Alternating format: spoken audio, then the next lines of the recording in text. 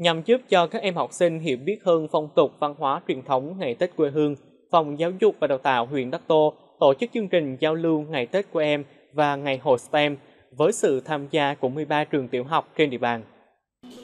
Điểm nhấn của chương trình là phiên chợ quê ngày Tết với gian trưng bày các sản phẩm truyền thống và sản phẩm STEM của các trường.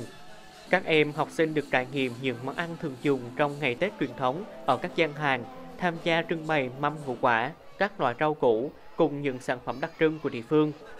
Thông qua các hoạt động, tạo cơ hội cho học sinh được vận dụng sáng tạo kiến thức, năng lực liên môn, làm ra các sản phẩm STEM ứng dụng vào đời sống. Các sản phẩm hỗ trợ hoạt động học tập, giáo dục cho chính các em, đồng thời giúp các em hiểu biết thêm về Tết cổ truyền và thêm yêu những nét đẹp văn hóa truyền thống của quê hương dân tộc. Nhân dịp này, Phòng Giáo dục và Đào tạo huyện Đức Tô trao 78 xuất quà cho các em học sinh có hoàn cảnh khó khăn tại các trường tiểu học trên địa bàn.